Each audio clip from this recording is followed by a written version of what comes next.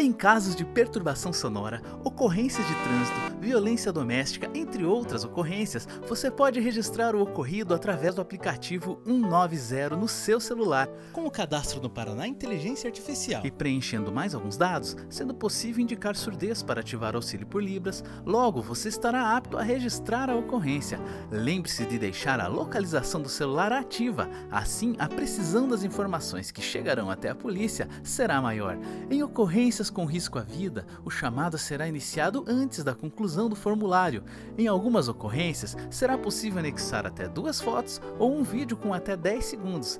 Feito estes passos, fique atento ao chat que iniciará e acompanhe o andamento detalhado da ocorrência no menu de acompanhamento. Baixe o app 190 você também.